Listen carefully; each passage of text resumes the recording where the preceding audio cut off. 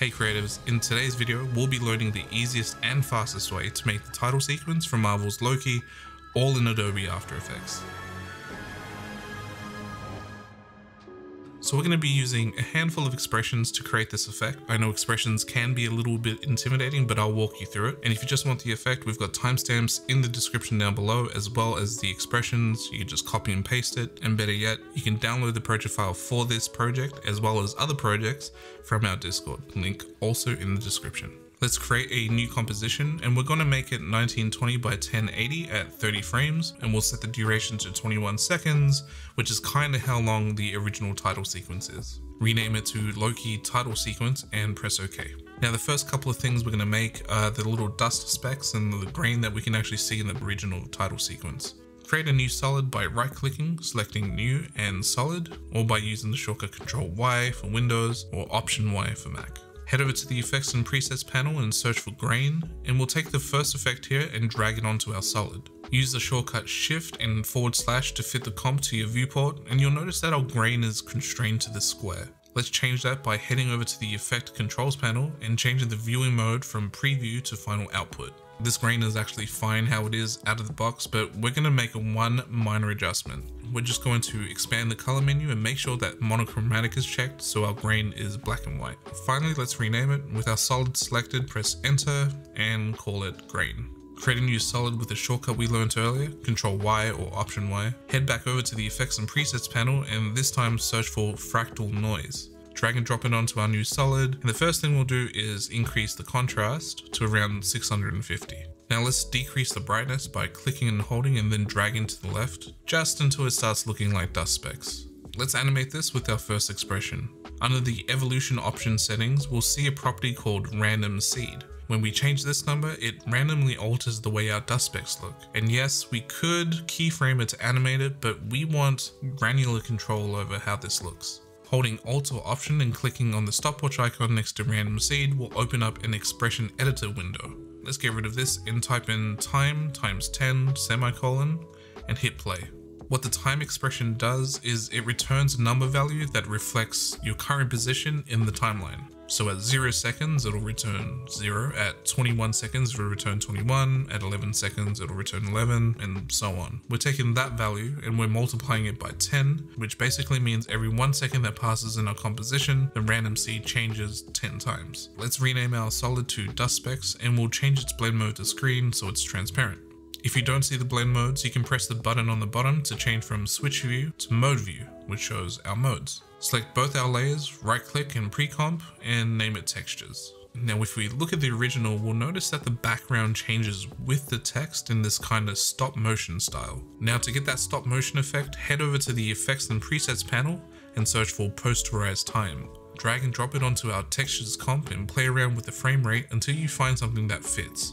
I used 2.4. Press play and that's our background textures done. Let's move on to the interesting stuff, actually randomizing and animating the text.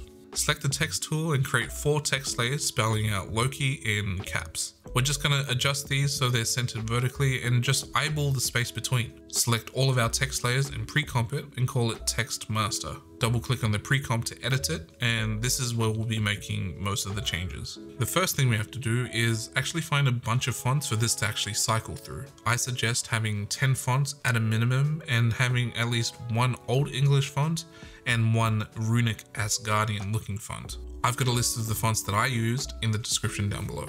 Once we've got our fonts, we're going to use our second expression to randomly cycle through them. Starting with our first letter, expand the text properties and Alt or Option click the stopwatch next to the source text property to add an expression. Copy and paste the randomized text expression from the description into the expression window and increase the height by clicking and dragging so we have more space to work with.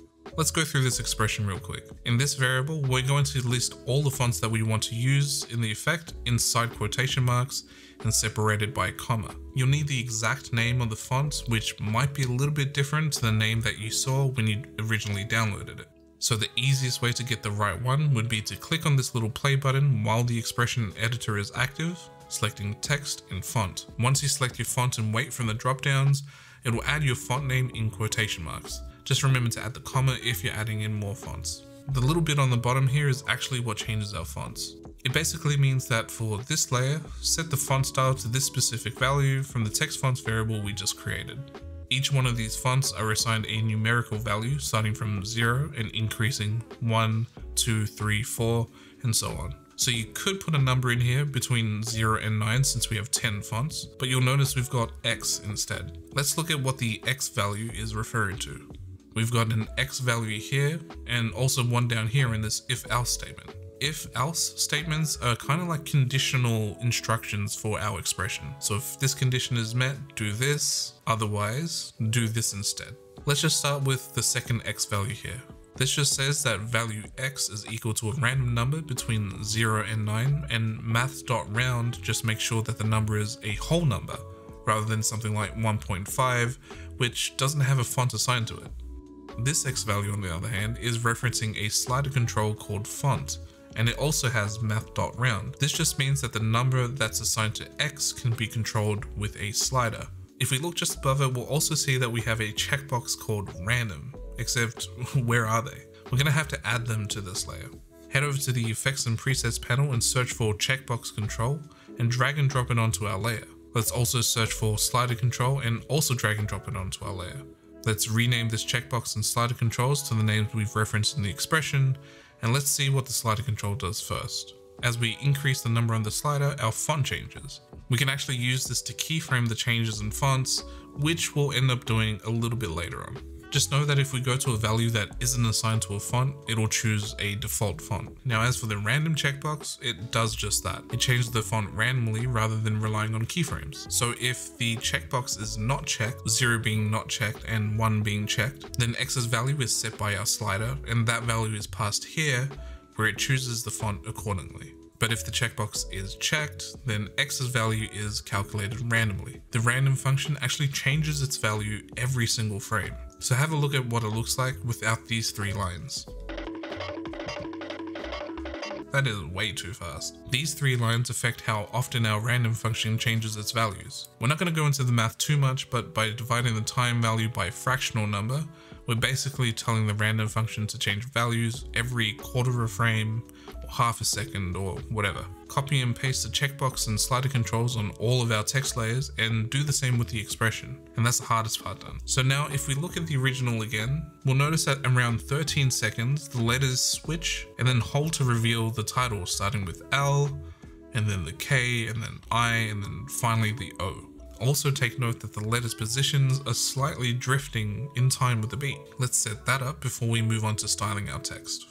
We'll scrub to around 13 seconds looking for the closest time the font changes. We'll duplicate our L layer by using the shortcut Control or Command D. And then with the duplicate selected, we'll use the shortcut Alt or Option and open square bracket to trim our clip to the playhead. And quickly do the same with our original except trim the opposite side using Alt or Option close square bracket instead. With our duplicate selected, we want to set the font manually. So uncheck the random checkbox and use the slider to select our font. In my case, the font that best matches the original is 7. You might have some overlap where you can see both fonts, just go in and clean that up a little bit. Go ahead and do the process with the rest of your letters. You might not get the timing perfect, but it'll still look good. Now let's add in that jitter we saw in the original by using a wiggle expression. This expression takes two values. The first value is the frequency, which determines how often the property changes, and the second value is the amplitude, which sets how much the property changes by. We'll apply this to each of our text layers, duplicates included. So let's start with L, add an expression to the position property, and let's create two values. F, which equals 1.5, semicolon,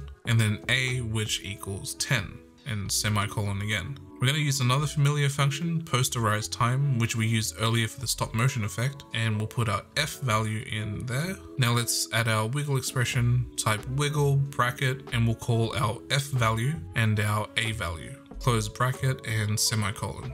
So our f and a values are setting our frequency and amplitude, which we talked about before, and our f value is getting affected by the posterized time effect, which allows you to alter the layer's frame rate. And that's a majority of the work done. Let's just add some styling so it looks just like the original. Let's head back to the master composition and use the shortcut home to take your playhead back to the beginning of the timeline. With our master text file selected, press S to access the scale properties. And let's change it to 80% and create a keyframe by clicking on the stopwatch icon. Press T to access the opacity property, set the opacity to zero, and create a keyframe for that too. Move the playhead forward to around 2 seconds and change the opacity to 100% and this should automatically create another keyframe. And then move the playhead to around 17 seconds and set the scale to 110%. While we're here at the 17 second mark, the original cuts off here as the music swells. So let's do that too. Move ahead a half second or a second, select our clips, and use the shortcut Alt or Option close square bracket to trim at the playhead. Now head over to the Effects and Presets panel and search for Glow. Drag this onto our master text comp, and then let's go back and search for Gaussian Blur and drag this onto a comp as well. Play around with the settings until you're happy, but if you're working along, my glow is at 175 radius, my blur is at 10. Finally, let's create an adjustment layer using the shortcut Control Alt Y for Windows or Command Option Y for Mac. We'll search for the Lumetri color effect and drag and drop it onto our adjustment layer. And in the temperature properties, make it cooler by dragging it to the left. Decrease the contrast to around negative 90 and we're done. Press play and admire your work.